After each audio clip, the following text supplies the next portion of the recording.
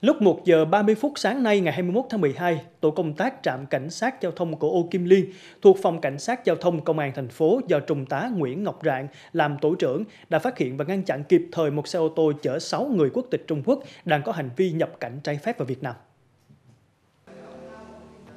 Theo Trung tá Nguyễn Ngọc Rạng, trạm trưởng trạm cảnh sát giao thông của Ô Kim Liên cho biết,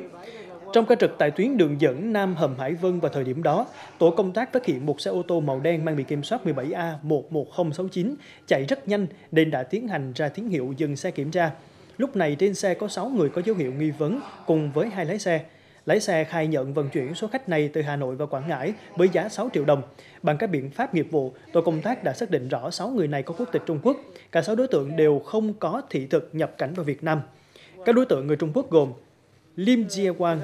sinh năm 1983, Lim Gu Yu, sinh năm 1991, Li Go Gi, sinh năm 1991, Li Hu Yung, sinh năm 1983, Chen Hui Wang, sinh năm 1981 và Quang Chiu Yu, sinh năm 1998, cùng trú tỉnh Quảng Tây, Trung Quốc.